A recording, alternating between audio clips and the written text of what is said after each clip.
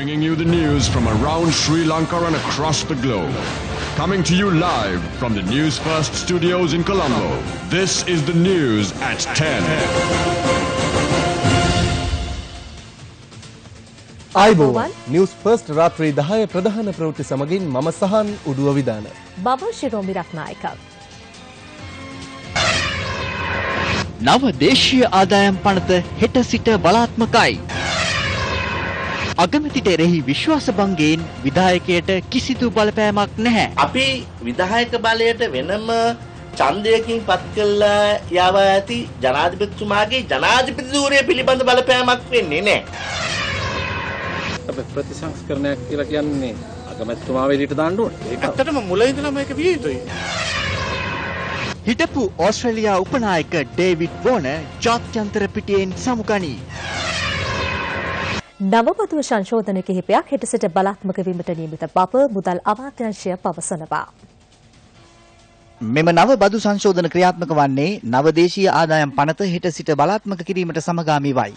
මේ යටතේ රාජ්‍ය හා පෞද්ගලික අංශයේ ශ්‍රමිකයින්ගේ වැටුපෙන් අය කරනු ලබන උපයන විට ගෙවීම් බද්ද හෙට සිට සංශෝධනය වනු ඇති. ඒ අනුව දැනට අය කරනු ලබන උපයන විට ගෙවීම් බදු සීමාව වාර්ෂික වැටුප රුපියල් ලක්ෂ 7.5 සිට ලක්ෂ 12 දක්වා ඉහළ දමා තිබෙනවා.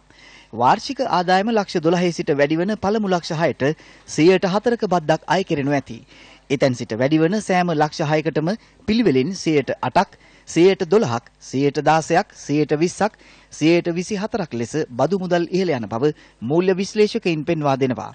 මීට පෙර මෙහි උපරිම බදු මුදලේ ප්‍රතිශතය වූයේ 116යි. සේවා නියුක්තිකයෙකුගේ වාර්ෂික සේවා නියුක්ති ආදායම ලක්ෂ 20ක් යයි උපකල්පනය කළ විට බදු නිදහස් දීමනාව ලක්ෂ 12යි. බද්දට යටත් වන ආදායම ලක්ෂ 8යි. ඉන් පළමු ලක්ෂ 6ට 104 බැගින් බදු අය කරන අතර එම මුදල රුපියල් 24000ක්. ඉතිරි ලක්ෂ දෙකට 108 බැගින් බද්ද අයවන අතර එය 16 දහසයි. ඒ අනුව ලක්ෂ 20ක වාර්ෂික ආදායමක් ලබන්නෙකුගෙන් අය කරන උපයන විට ගෙවීම් බද්ද රුපියල් 40000ක් වනවා. මීට අමතරව විදේශවල සේවය කරන ශ්‍රමිකයින් මෙරට බැංකුවල තැන්පත් කරන ඉතුරුම් වලට ලැබෙන පොලියට 105ක බද්දක්ද අය කිරීමට නියමිතයි. එහෙත් විදේශගත ශ්‍රමිකයින් තම නිවෙස්වලට හා ඥාතීන් වෙත එවනු ලබන මුදල් සඳහා කිසිදු බද්දක් අය නොකරන බවද මුදල් අමාත්‍යාංශය සඳහන් කර තිබෙනවා. ජ්‍යෙෂ්ඨ පුරවැසියන් සඳහා පොලි ආදායම ලක්ෂ 15 දක්වා බද්දෙන් නිදහස් වනු අතර ඉතිරිය මත 105ක බද්දක් අය කෙරෙනු ඇති. බදු සහන හා බදු විරාම ලබා දීම සඳහා මුදල් අමාත්‍යවරයාට පැවති අවස්ථා 200ක් අහෝසි කර තිබීමද විශේෂත්වයක්. ඒ ප්‍රාග්ධන ලාභ මත බද්ද කියන එක අපි නැවත ඇති කරනවා. තමන්ට අයිතිව තිබිච්ච ඉඩ කඩමක් එහෙම නැත්නම් ගියක් දොරක් වික්කොතින් තමයි මේක බදු ගෙවන්න ඕනේ. ලාභය කියලා අපි ගන්නේ විකුණන මිලෙන් ගිය අවුරුදු 2017 සැප්තැම්බර් 30 දිනට ඒ දේපොලේ වෙළඳ වටිනාකම කියන එක අපි අඩු කරන්න දෙනවා. එතකොට මෙන්න මේ විකුණුම් මිලයි මේ වෙළඳ වටිනාකමයි කියන එකේ අතර වෙනසෙන් තමයි ලාභය වෙන්නේ. ඒකෙනුත් එයා මේ විකුණන්න යම් කිසි වේදමක් කරලා තියෙනවා නම් ඒ වේදනුත් අපි අඩු කරන්න දෙනවා. ඒක උද්ගත වන ලාභය රුපියල් රුපියල් 50000කට වඩා අඩු වුණොත් ඒ ලාභය අපි බදු කරන්නෙත් නැහැ. ඒ ලාභය නිදහස් කරනවා 50000කට වඩා වැඩි වුණොත් විතරක් ඒ ලාභය මත 10%ක බද්දක් ගෙවන්න වෙනවා. අග්‍රාමාත්‍යවරයාට එරෙහිව ඉදිරිපත් වී ඇති විශ්වාස භංගයේ හේතුවෙන් රටේ විදායකට කිසිදු බලපෑමක් එල්ල නොවන බව නීතිඥ ක්‍රිෂ්මාල් වර්ණසූරිය මහතා අවධාරණය කරනවා.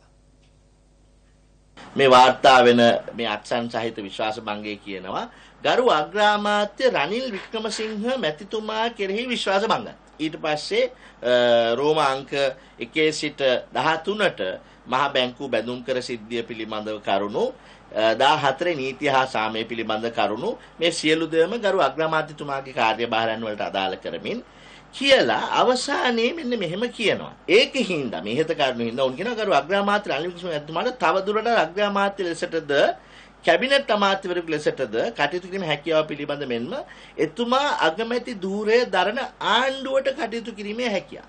අතිගරු ජනාධිපතිතුමා මෙම ආණ්ඩුවේ ප්‍රධානියා වූ පමණින් අපි විධායක බලයට වෙනම ඡන්දයකින් පත් කළා යවා ඇති ජනාධිපතිතුමාගේ ජනාධිපති ධූරය පිළිබඳ බලපෑමක් වෙන්නේ නැහැ. කිසිම විභේදනයක් නැහැ නීතියේ මට පේන හැටියට මේ මේ නිර්වචනවල කිසිම අධිකරු ජනාධිපතිතුමාගේ අප බහර දෙන විධායක බලතල ඡන්දයකින් බහර දෙන විධායක බලතල වලට අතිගරු ජනාධිපතිතුමා විසින් පත් කරගන්නා කැබිනට් මණ්ඩලය හෝ පාර්ලිමේන්තුව විසින් මේ පත්වන කැබිනට් මණ්ඩලය හෝ එහි අග්‍රාමාත්‍යතුමාගේ පිළිබඳ විශ්වාසභංගයක් ඇතිවී ඇතිවීම පිළිබඳව අතිකරු ජනාධිපතිතුමාගේ විධායක බලයට බලපෑමක් වන්නේ නැහැ. ඒතකොට ජනාධිපතිට අපි දෙන විධායක බලය එතුමා පත් කරන අයගේ කෙරෙහි ඇති විශ්වාස භංගයක් නිසා කිසිම නීතිමය ගැටලුවකට පත්වන්නේ නැති බව මගේ ව්‍යවස්ථානුකූල මතය. රට තුළ උද්ගත වෙති දේශපාලන තත්ත්වය පිළිබඳව එක්සත් ජාතික පක්ෂයේ හිටපු මහලේකම් තිස්ස අතරනායක මහතා අද කුරුණෑගලදී මාධ්‍ය වෙත අදහස් දැක්වුවා. කොහොමද මේ දවස්වල දේශපාලන තත්ත්වය? හරිම උණුසුම්. හරියට දේශගුණය වගේ. මොකද හේතුව අද දේශපාලනයේ ඇති වෙලා තියෙන අස්ථාවර බව නිසා සහ දේශපාලනයේ හැලහැප්පිලි නිසා මහජනතාව බලාගෙන ඉන්නේ මොකක්ද සිද්ධ වෙන්නේ කියලා. ඔබතුමා එක්සත් ජාතික පක්ෂයට යනවා කියලා අපිට ආරංචියක් ලැබුණා. නෑ එක්සත් ජාතික පාක්ෂිකයෙක් හැටියට මම එක්සත් ජාතික පක්ෂයට නැවත එකතු යුතු නැහැ. නමුත් ප්‍රශ්නේ තියෙන එක නෙවෙයි. අද එක්සත් ජාතික පක්ෂය ඉදිරියට යන්න ඒ වගේම ඉදිරි ජනාධිපතිවරණ ජයග්‍රහණය කරන්න ජාතික වැඩපිළිවෙලක් ඒ වගේම ජයග්‍රහණය සඳහා වූ සුදුසු පියවරක් එක්සත් ජාතික පක්ෂය අරගෙන තියනවාද කියලා. මහජනතාවත් ඒ වගේම විවිධ පාර්ශවයනුත් දැඩි ලෙස කියා සිටින එක්සත් ජාතික පක්ෂය තුල දැවැන්ත ප්‍රතිසංස්කරණයක් අවශ්‍යයි කියලා. ඒ ප්‍රතිසංස්කරණය කියලා කියන්නේ ඇත්තටම මේ එහාට මෙහාට මුහුණු ගලවලා හයි කරන එකක් නෙවෙයි. මිනිසුන්ට දැනෙන සහ සැබෑ වෙනසක් එක්සත් ජාතික පක්ෂය ඇතුලේ ඇති වෙන්න ඕන කියන කාරණේ තමයි මහජනතාව කියන්නේ. අපි ප්‍රතිසංස්කරණයක් කියලා කියන්නේ අගමැතිතුමාව එළියට දාන්න ඕනේ. ඇත්තටම මුල ඉඳලම ඒක විය යුතුයි. මමත් කියන්නේ හැම වෙලාවකම මේ එක්සත් ජාතික පක්ෂය තුල ඒ වෙනස ඇති නොකොලොත් අලුත් එක්සත් ජාතික පක්ෂයක් හැටියට යන්න බෑ. දැන් ඉන්න නායකතුමා නිසාද මේ පාර ප්‍රතිඵලය වෙනස් වුනේ? ඒකත් බලපානවා. ඊටමත් පැහැදිලි මේ මැතිවරණය නියමාකාරයෙන් මෙහෙව්වේ නැහැ කියලා. දෙක තමයි බලය ලබා ගත්තාම මහජනතාවට උදව් කරන්න ඕන කියන එකත් අමතක වුණා. අග්‍රාමාත්‍ය රනිල් වික්‍රමසිංහ මහතාට එරෙහි විශ්වාස භංගයට සහය දක්වමින් අද මහනුවර සිට කොළඹ දක්වා පාගමනක් ආරම්භ වුණා. මහනුවර ගැටඹේ දියකපනාතොට ඓතිහාසික විහාරස්ථානයේ ආගමික වතාවත්වල නිරත වීමෙන් පසු ගැටඹේ ක්‍රීඩාංගණය අසනින් පාගමන ආරම්භ වුණා. ඒකාධිපති ගජමිතුරු වියරුව පරදන ජනබල අරගලය නමින් එක්සත් ජාතික පක්ෂය සුරකීමේ සංවිධානය සහ එක්සත් ජාතික නිදහස් පෙරමුණ එක්ව මෙම පාගමන සංවිධාන කර තිබෙනවා. මේ විශ්වාස භංගය අගමැතිතුමා ජයග්‍රහණය කරන්න නොයෙකුත් උපක්‍රම යොදනවා. පැහැදිලිව මේ රටේ අගමැති තමයි මේකට වග කියන්න ඕනේ කියන එක තමයි අපිට කියන්න තියෙන්නේ. එක්සත් ජාතික පක්ෂයේ ප්‍රතිසංස්කරණයක් ප්‍රතිසංවිධානයක් වෙනවයි කියන එක පෙරදිච්ච හැම ඡන්දයකදීම කියලා තියෙනවා. එදා කිව්වේ 29 වෙනිදා ලොකු තීරණාත්මක ප්‍රතිසංවිධානයක් 29 වෙනිදා වෙනවයි කියලා. ඒක වුණේ නැහැ. මොකද්ද එදාට කිව්වේ විශ්වාස භංගය ජයග්‍රහණය කළා දෙන්න ඊට පස්සේ අපි ප්‍රතිසංවිධානය කරමු කියලා. විශ්වාස භංගය ජයග්‍රහණය කළා දුන්නාට පස්සේ ඒ ප්‍රතිසංවිධානය කියන ෆයිල් එක හබස් පෙට්ටියට දානවා අවුරුදු 20ක් තිස්සේ රනිල් වික්‍රමසිංහ මහත්මයාගේ භූමිකාව මෙන්න මේකයි මේ පිළිකාව මේ රටෙන් අයින් කරනකම් කවදාවත් මේ රට දියුණු කරන්න බෑ කියන එක අපි ජනාධිපතිතුමාට කියනවා මේ පාගමන කොළඹට එන්න කලින් පුළුවන් නම් මේ මිනිහා වහස් කරලා දාන්නයි කියන එක තමයි අපි කියන්නේ. පාගමන පේරාදෙනිය කිරිබත් කුඹුර පිළිමතලාව කඩුගන්නාව පසු කරමින් අද පස්වරුවේ මාවනැල්ලට ලංකා වුණා.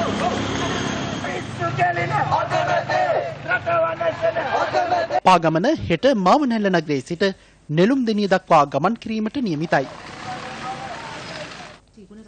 මේ අතර මෙම සාමකාමී විරෝධතා පාගමන අතරතුර ගිනියවි දෙකක් සමග කඩුගන්නාවේදී අත්අඩංගුවට ගැනුණු එක්සත් ජාතික නිදහස් පෙරමුණේ ලේකම් නීතිඥ මෛත්‍රී ගුණරත්න මහතා පසුව අප මත මුදා හැරුණා. ඒ අදාළ නීත්‍යානුකූල ගිනියවි බලපත්‍ර ඉදිරිපත් කිරීමෙන් අනතුරුවයි.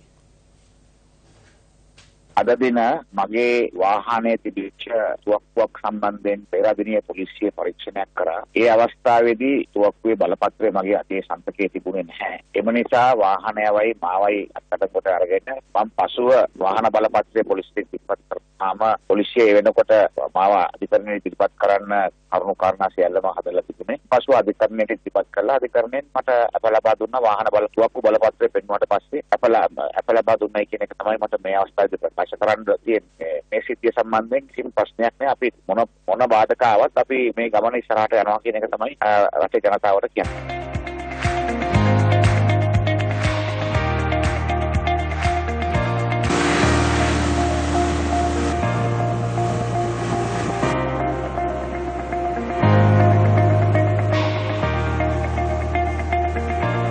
නිරෝෂන් ප්‍රනාන්දු ඔහු අද වන විට මෙරට සංචාරක ක්ෂේත්‍රයේ නම දිනාගත් ජල ක්‍රීඩකයෙක්. ඔහු මෙරට පිළිගත් ජාතික රුසියානු සංචාරක මග පෙන්වන්නේ.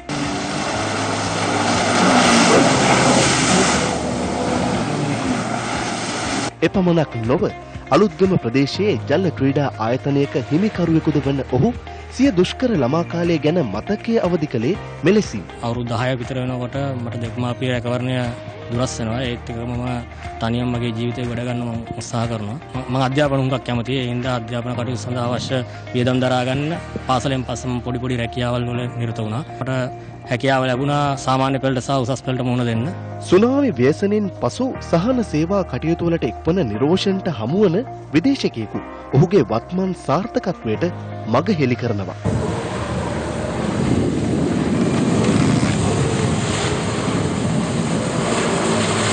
ඒ අතරදී මට හම් වෙනවා රිචඩ් සෑන් කියලා දක්ෂ කිමුදුන්කරුවෙක් ලංකාවට උදව් කරන්න ආපු ඔහු තමයි මගේ ජීවිතයේ මට යන්න ඕන මාර්ගය පෙන්වලා දුන්නේ. ඒ තමයි දවසක් මම ඔවුන් සමග ලංකාව පුරා සංචාරය කරද්දී මට ඔහු එක අවස්ථාවකදී මගෙන් පොරොන්දුවක් ගන්නවා. ඔබ ලංකාවදාරි දවසක ලංකාවේ ජාතික සංචාරක මග පෙන්වන්නෙක් විය යුතුයි කියලා. ඒ පොරොන්දුව ගත්ත පොරොන්දුව තමයි මගේ ජීවිතේ මා වෙනස් කරපු එකම දවස.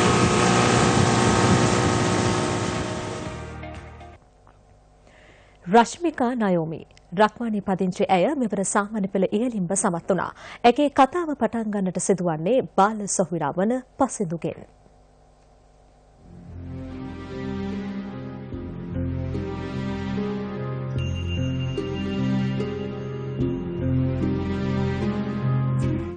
ඒ රක්වාන ශාන්ත අන්තෝනි විද්‍යාලයේ ගුණම ලබන පසින්දු සන්දීප. පසින්දු ජීවත් වූ කුඩා නිවහන සැඩ පහරට හසුව ගසාගෙන යාමත් සමග මේ කූඩාරමේ ජීවත් වන්නට සිදු වුණා. රශ්මිකා නයෝමි පසින්දුගේ එකම සොයුරියයි. පොලිස් සේවයෙන් නිවත්ව කළුකල් සමග ගැටමින් ජීවිකාව සරිකරගන්නට පසිදුගේ පියා දැරුවේ දැඩි වෙහෙසා. හිටපු ගේ කඩාගෙන වැටුණා කඩාගෙන වැටුණාට පස්සේ මායි ළමයි දෙන්නයි මගේ බිරිඳයි මේ ඉටිරෙදි ගහලා මඩුවක් හදලා ඒකේ තමයි අපි තුන් දෙනා මාස ගාණක් හිටියේ. බොහොම දුෂ්කර ජීවිතයක් ගත කරේ ඒ වෙලේ කවුරුවත් අපි ගැන දුකසෙප බැලුවේ නැහැ. කරදර සියල්ල දරා ගනිමින් දැඩි අදිටනින් යුතුව අධ්‍යාපන කටයුතු වල නිරත වූ පසිදු ලකුණු 173ක් ලබා ශිෂ්‍යත්ව විභාගයේ සමත් වූ අතර අප ඒත වාර්තා කළා. ඒ දුටු බොරටුව විශ්වවිද්‍යාලයේ ප්‍රමාණ සමීක්ෂණ උපාධිධාරීන්ගේ සංගමය මේ පවුලට ලෙවසක් තනා දුන්නේ ඔවුන්ගේ ජීවිත අලුත් කරමින් බලාපොරොත්තුවක් ලබා දෙමින්. උදිත ගෝර පදං සමාදියාමි අදුනාදානා වේරමණී සික්ඛා නව නිවස ඔවුන්ගේ ජීවිතවලට මහත් ආලෝකයක් වූ අතර රත්නපුර සුමන බාලිකා මහාවිද්‍යාලයේ ඉගෙනුම ලැබූ පසුදුගේ සොහොයුරිය මෙවර සාමාන්‍ය පෙළ විභාගයට පෙනී සිටියා. ඇය අති විශිෂ්ට ලෙස විභාගයෙන් සමත් වූයේ ඒ සාමාර්ථ නවයක් ලබා ගනිමින්. කූඩාරමේ ඉන්නකොට ගොඩක් දුක් විඳ ඉතින් ආරක්ෂාවක් තිබෙත් නෑ රැයට හැම කූඩාරම ඇතුලේ ගියාට පස්සේ ප්‍රවෘත්ති වලින් දුක්ඛ කූඩාරමේ ඉන්න එක ඊට පස්සේ ගේදර හම්බුණා. ලොකු සතුටක් ඒක. ඇත්තටම එදා වැඩ ටික එදාම කරා පන්ති වල වැඩ ඉස්කෝලේ වැඩ. අම්මයි තාත්තයි මට ගෙදරින් ලොකු උදව්වක් දුන්නා. මේ ගෙදර ඉඳන් ලොකු සතුටක්කින් මං හිටියේ රශ්මිකාගේ පියා පැවසුවේ කූඩාරම් ජීවිතයෙන් අලුත් නිවසට පැමිණීම මේ සියල්ලට හේතුව බවයි. තරම මේ ගේ හැදුවට පස්සේ ළමයින්ගේ මානසික මට්ටම හුඟක්ම වෙනස් වුණා. හොඳට ඉඩ කඩ පහසුව තිබුණු ළමයින්ට ඉස්කෝලේ වැඩ ටික කරගෙන යන්නේ. දිරිය දියණියක ලෙස රශ්මිකාට දැන් තවත් බලාපොරොත්තුවක් තිබෙනවා. තාත්තා වැඩ කරේ පොලිසියේ පොලිසිය වැඩ කරලා මල්ලිගේ පොඩි කාලේ ඔපරේෂන් එකක නිසා තාත්තා වැඩට ගිහිල්ලා නැතුව නතර වෙච්ච නිසා රස්සාව අයින් නැති වෙලා තිබ්බ තාත්තට තාත්තගේ රස්සාව හදලා දුන්නොත් ඉස්සරහටම යන්න පුළුවන් වෙයි කියලා මම හිතනවා. යොවුන් පුරය දෙදහස් දහට වැඩසටහනේ සමාප්ති උත්සවය අද පැවැත්වුණා. ඒ ජනාධිපති මෛත්‍රීපාල සිරිසේන මහතාගේ ප්‍රධානත්වයෙන්. මෙවර යොවුන්පුරය පසුගේ විසි අටවනදා ආරම්භ වූයේ නික පැරටියේදී. මේ සඳහා දිවයින පුරා විසිරී සිටින තරුණ තරුණියන් හදහසකට ආසන්න පිරිසක් එක්ව සිටියා. අද අධි තාක්ෂණික ලෝකයේ තුල අපට වඩා දියුණු රටවල් තුලින් අපිට දැනුම අවශ්‍යයි. අපිට තාක්ෂණය අවශ්‍යයි. අපි ප්‍රධාන වශයෙන්ම දැනුම මුල් කරගත් සමාජය. ඒ සඳහා අපි කැපවී යුතු වෙනවා. මේ රටේ අද තිබෙන ප්‍රශ්නවල ඇතිවෙන ප්‍රශ්නවල මා දකින්නේ රට වෙනුවෙන් සියලු දෙනාට තිබිය යුතු පොදු න්‍යාය පත්‍රයකට වඩා එක් එක් දේශපාලන නායකයින් ඇතැම් ශේෂ්ත්‍රවල නායකයින් විවිධ සංවිධානවල නායකයින් තම තමන් වෙනුවෙන් සකස් කරගත් තමාගේ පෞද්ගලික න්‍යාය පත්‍ර තුල කටයුතු කිරීම. ලෝකේ රටවල් දියුණු වී තිබෙන්නේ ඒ රටවල් වලට සිටින සියලු දෙනා එකම ජාතියක් විදිහට රට වෙනුවෙන් සාමූහිකත්වයෙන් පරිත්‍යාගශීලී භාවයෙන් එක් අරමුණක් තුල කටයුතු කිරීමයි. වත්තල ප්‍රාදේශීය සභාවේ එක්සත් ජාතික පක්ෂ මන්ත්‍රී කණ්ඩායම බාධ්‍ය හමුවක් ඇඳවා තිබුණා. ඔවුන් පවසන්නේ වත්තල ප්‍රාදේශීය සභාවේ සභාපතිවරයා තෝරාපත් කර ගැනීමට එක්සත් ජාතික පක්ෂයේ මන්ත්‍රීවරුන් දෙදෙනෙකු පොදු ජන පෙරමුණට සහයෝගය ලබා දුන් බවයි. නිමල් පෙරේරා යන මන්ත්‍රීවරයා ඉරේෂ් තමයන්ත යන මන්ත්‍රීවරයා හිටපු අමාත්‍යවරයෙක්ගෙන් මුදල් කලාසභා මන්ත්‍රීවරුන් මුදල් අරගෙන මම හිතන්නේ මිලියන 15ක් පමණ මුදල් අරගෙන එක්සත් ජාතික පක්ෂ පාවා දුන්නා. පාවා දීලා ඒ පොදු පොදු පෙරමුණට ඔවුන්ගේ ඡන්දය ලබා දී එක්සත් ජාතික පක්ෂය අපේ අප කීර්තිය ලක් කර බව මම මේ අවස්ථාවේදී නිර්භයව කියනවා. මේක එක්සත් එක්සත් ජාතික පක්ෂ කළ නිගාවක්. මේ අවස්ථාවේදී ඉල්ලා සිටිනවා පක්ෂයේ ලේකම්තුමාගෙන් අපේ අගමැති මහලේකම්තුමාගෙන් අගමැතිතුමාගෙන් මේ එක්සත් ජාතික පක්ෂ පාවා දුන් පිරිස් දමයන්ත කියන മന്ത്രിවරයාට නිමල් පෙරලා යන മന്ത്രിවරයන් දෙදෙනාව එක්සත් ජාති පක්ෂයෙන් අයින් කරන ලෙස මම ඉල්ලා සිටිනවා. මුදල්ගත් බවට සාක්ෂි තියෙනවා අපි ළඟ. ඒ මුදල් දුන්න පුද්ගලයෙක් අපි දන්නවා. අපි ඇසිමුතු සාක්ෂි දීන්නේ තමයි කියන නිර්භය කියන බය නැහැ. දැන් අනිවාර්යෙන් ඉදිරියේදී අපි නීති මාර්ගයට අපි දැන්වත් ක්‍රියාමාර්ගයක් ගන්නවා. සභාවට යනකොට අපි 150 එකක් තිබ්බේ නැහැ. සභාවේ තෝරන්න අපේ පක්ෂේ. ඒ නිසා අපි ශ්‍රී ලංකා නිදහස් පක්ෂයත් එකතු කරගෙන ඒ ඒ අතරත් අපිට ඡන්දය දෙනවා කියලා කියලා තිබ්බා. ඒ අතරත් එකතු කරගෙන අපි ඡන්දයට යන අවස්ථාවේදී අපේ පක්ෂයේ නිමල් මන්ත්‍රීයායත් දමයන්ත මන්ත්‍රීතුමත් දෙන්නම අපිට විරුද්ධව ඡන්දය දුන්නා. ඒ විරුද්ධව ඡන්දය දීපු තමයි අපිට සභාපතිතුම අයින් වුණේ අපේ පක්ෂයට. ඒ වගේම මම මට විවිධ විවිධ තර්ජන තිබ්බා. අපේ ගෙදරට දවස් දෙකකට ඉස්සෙල්ලා අපේම පළාත් සභා මන්ත්‍රීවරයෙක් ඇවිල්ලා මුදල් කීයක් ඕනද කියලා ඇහුවා. ඒක ඔප්පු කරන්න මං ගාව සාක්ෂි තියෙනවා. අපේ ගෙදර ඒක රෙකෝඩ් කරලා තියෙනවා.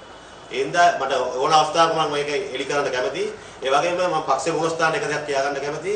මේ පක්ෂේ ගස් ගස් ගෙම්බු ටිකක් ඉන්නවා. ওই ගෙම්බු ටික අතුගාලා දාලා පක්ෂේ සුද්ධ කරලා ඉදිරි ගමනක් යන්න වැඩ පිළිවෙලක් කරේ නැත්නම් පක්ෂ නායකත්වය අපි 12 දෙනාම පක්ෂයෙන් අයින් වෙන්න ඉදිරිපත් කරලා ඉන්නවා. ගවර්නර් මැතිතුමාගෙන් පළමුව ඉල්ලා සිටිනවා මේ පිළිබඳව තීරණයක් ගන්න කියලා. පසුගිය විසි අට වනදා වත්තල ප්‍රදේශීය සභාවේ බලය පිහිටුවීමට ශ්‍රී ලංකා පොදුජන පෙරමුණට හැකි වුණා. ඒ එම ප්‍රදේශීය සභාවේ එක්සත් ජාතික පක්ෂයේ නියෝජිතීන් තුන් දෙනෙකු හා ශ්‍රී ලංකා නිදහස් පක්ෂයේ සියලුම නියෝජිතීන් පොදුජන පෙරමුණට සහය දැක්වීමත් සමගයි. ඒ අනුව වත්තල ප්‍රදේශීය සභාවේ සභාපතිවරයා ලෙස ත්‍යාගරත්න අල්බිස් මහතා පත් වුණා.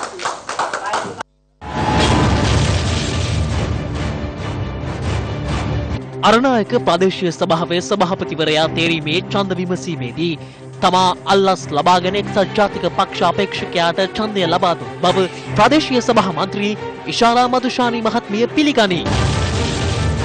බිගමුව නගර සභාවේ බලය පිහිටුවීමේදී තමාට අල්ලස් දීමට උත්සාහ කළ බව ශ්‍රී ලංකා නිදහස් පක්ෂ මේගමුව ආසන සංවිධායක හා නාගරික මන්ත්‍රී WD ලලිත් එම් සිල්වා මහතා ප්‍රකාශ කරයි. කොටිකාවත්ත මුල්ලේරියාව ප්‍රාදේශීය සභාව පිහිටුවීමේදී තමන්ට අල්ලස් දීමේ උත්සාහයක් පැවති බව ප්‍රජාතන්ත්‍රවාදී එක්සත් ජාතික පෙරමුණේ පළාත් සභා මන්ත්‍රී පී රුවන් කැලුම් පෙරේරා මහතාගෙන් අනාවරණයක්.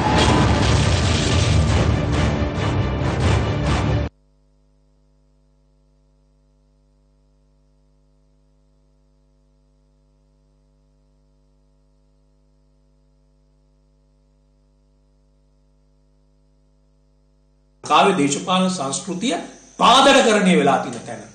ඒක මහතැන ඉඳලා පාර්ලිමේන්තුවේ ඉඳලා ප්‍රාදේශීය සභාවට දක්වා ගම් මට්ටමටම ගිහිලා තියෙනවා. උඩුදුවලා තියෙනවා. අපිට පේනවනේ. දැන් එලිපිටම ඇවිල්ලා ප්‍රාදේශීය සභාවලට අලුතෙන්පත් වෙච්ච ඒ නියෝජිතවරුන් නියෝජිතවරයන් කියනවා මට ලක්ෂ දෙකක් දුන්නා මං ඡන්දෙ දුන්නා කියලා. ප්‍යාරනායකදී දැක්කා. අපි වත්තලදී දකිනවා. මේ කොටිගාව තුමුල්ලේරියා මේ මේ දවස් ගානෙම මෑතක මේ මේ මේ දවස් ගානෙම අපි දකිනවා ඊටාම සිල්ලර විදිහට සිල්ලර විදිහට දේශපාලන නියෝජිතයන් විකිනෙනවා. භාණ්ඩ බවට පත් වෙලා. ඉතින් අපිට කියන්න තියෙන මිනිස්සුන්ගේ දේශපාලනඥයන්ට පුළුවන් නම් පුරවැසියන්ව ගස් බඳින්න අපි මේ රටේ ජනතාවගෙන් ඉල්ලා හිටිනවා ආවහම මුම්ම ගස් බැඳපල්ලා. ගමට ආපු ගමන් කරන්න ඕනේ ගස් බඳින්න. මේක තමයි අපිට කියන්න තියෙන්නේ මේ රටේ ජනතාවගේ පුත්තලම් ප්‍රදේශයේ ඊයේ පැවති රැස්වීමකදී ශ්‍රී ලංකා මුස්ලිම් කොංග්‍රසයේ නායක අමාත්‍ය රවුෆ් හකීම් මහතා වර්තමාන දේශපාලන තත්ත්වය පිළිබඳව අදහස් පළ කළා. ඉදදරේ කොල්ලි මරම් අපිව දෙපැත්තෙන්ම ඉඳගෙන ගිනි තියෙනවා. එක පැත්තකින් එක්සත් ජාතික පක්ෂය ගිනි තියෙනවා. අනිත් පැත්තෙන් ශ්‍රී ලංකා නිදහස් පක්ෂය ගිනි තියෙනවා. මේ අතරමැද අපේ පක්ෂය ගිනි ගනීද කියන බය අපිට තියෙනවා. ඒක අපි ආරක්ෂා කළ යුතුයි. පළාත් පාලන ආයතන පිහිටුවීමේදී පුත්තලමේදී එක්සත් ජාතික පක්ෂය අපිව රැවැට්ටුවා. අම්පාරේදී ශ්‍රී ලංකා නිදහස් පක්ෂය අපිව රැවැට්ටුවා. පුත්තලම සහ අඩ්ඩාලච්චේන ප්‍රදේශවල ශ්‍රී ලංකා පොදුජන පෙරමුණ තමයි අපිට උදව් කළේ. මේක කියනකොට ඔබතුමාලා අත්පුඩි ගහනවා. ඒ තුලින් අපේ පාක්ෂිකයින් යම්කිසි පණිවිඩයක් දෙනවා. නමුත් ඒක අපේ අවසන් තීන්දුව නෙවෙයි. ලබන තුන්වෙනිදා පැවැත්වෙන රැස්වීමේදී තමයි අවසන් තීන්දුව අපි ගන්නේ.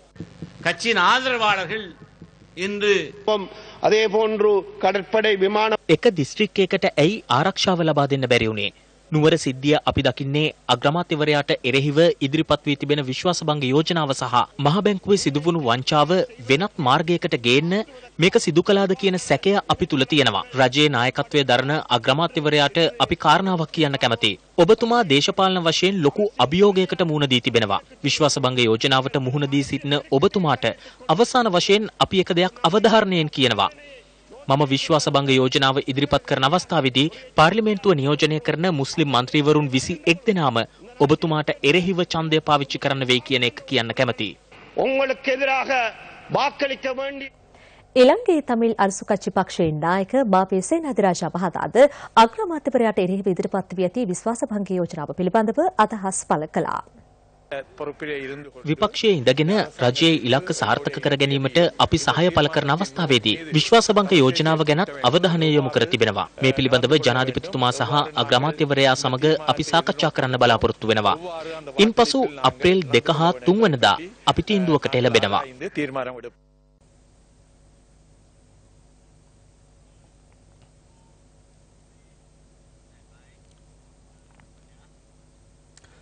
සහල් සහ අර්ථාපල් සඳහා ලබා දී ඇති බදු සහන තවදුරටත් පවත්වාගෙන යාමට ජීවන වියදම් කමිටුව තීරණය කර තිබෙනවා. සහල් ආනයනය සඳහා ලබා දී ඇති බදු සහනය තවත් මාසයකින් දීර්ඝ කිරීමේ තීරණයට අනුව මේ මාස අවසන් වන තෙක් බදු සහනය ක්‍රියාත්මක වනු ඇති. උත්සව සමයේ සහල් මිල ඉහළ යාම පාලනය සඳහා මේ පියවර ගත් බව ජීවන වියදම් අනු කමිටුව ප්‍රකාශ කළා. මේ අතර අර්ථාපල් කිලෝග්‍රෑමයක් සඳහා පනවා තිබූ රුපියල් 30ක විශේෂ වෙළඳ භාණ්ඩ බද්ද අදින් අවසන් වීමට නියමිතව තිබුණා. ඒත් ජීවන වියදම් කමිටුව තීරණය කර ඇත්තේ අර්ථාපල් සඳහා විශේෂ වෙළඳ භාණ්ඩ බද්ද තවත් මාස දෙකක් එලෙසම පවත්වාගෙන යාමටයි. දේශීය වෙළඳපොලේ අර්ථාපල් අස්වැන්න තවදුරටත් වෙළඳපොළට සැපීම හේතුවෙන් වගාකරුවන් ආරක්ෂා කිරීම සඳහා මේ පියවර ගත් බව එම කමිටුව පැවසුවා. ඒ අනුව අර්ථාපල් සඳහා පැන වූ රුපියල් 30ක් වූ විශේෂ වෙළඳ භාණ්ඩ බද්ද මැයි මාස 31 වෙනිදා දක්වා ක්‍රියාත්මකයි. හෙට සිට බලාත්මක වීමට නියමිත නවබදු සංශෝධන හේතුවෙන් ජනතාවට තවත් බරක් පැටවෙන බව වමේ කේන්ද්‍රයේ කැඳවුම්කරු ශබීර පෙරේරා මහතා පෙන්වා දෙනවා.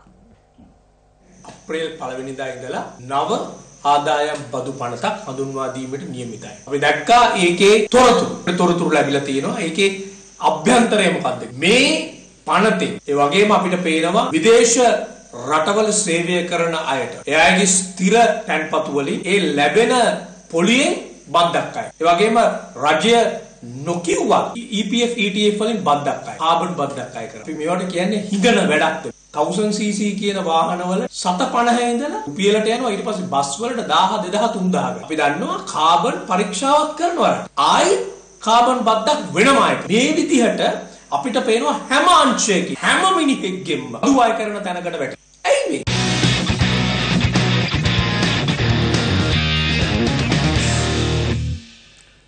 හිටපු ඕස්ට්‍රේලියා ක්‍රිකට් උපනායක ඩේවිඩ් වෝන ජාත්‍යන්තර තරඟ බිමෙන් සමුගත්තා.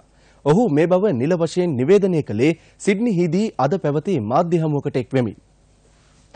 මාතර රාහුල පන්නපිටිය ධර්මපාල විද්‍යාන්තර හත්වන ස්වර්ණසිංහ සංගාමයේ මහා ක්‍රිකට් තරගයේ අද ජය පරාජයෙන් තොරව අවසන් වුණා.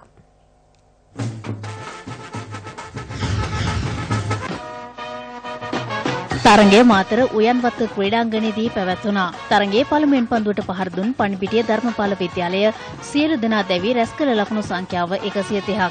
සිය පළමුවෙනිම ක්‍රීඩා කළ මාතර රාහුල විද්‍යාලය අද දිනේ ආරම්භ කරන විට කිසිවකු නොදෙවි ලකුණු 59ක් රැස් කරගෙන සිටියා. බිනර සංකේත් ලකුණු 55යි. සහන් බණ්ඩාර ලකුණු 53ක් රැස් කළා. චමිදු සමරසිංහ ලකුණු 57ට කඩලු 8ක් දවා ගත්තා. සිය පළමුවෙනිම ක්‍රීඩා කළ මාතර රාහුල විදුහල් කණ්ඩායමේ සියලු දෙනා අද ලකුණු 181කට දැවී ගියා. දෙවැනිනිම ක්‍රීඩා කළ ධර්මපාල විද්‍යාලය කඩු පහක් දැවී ලකුණු 144ක් රැස් කරගෙන සිටියේදී ඉනිම අත්හිට වූ අතර පිළිතුරු ඉනිම ක්‍රීඩා කළ රාහුල විදුහල් කණ්ඩායම තරගය අවසන් වන විට කඩුලක් දැවී රැස් කරගෙන සිටි ලකුණු සංඛ්‍යාව 21ක්.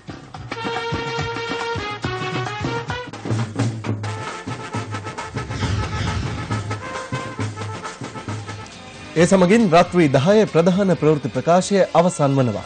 ඔබට සුබ රාත්‍රියක්. ආයුබෝවන්.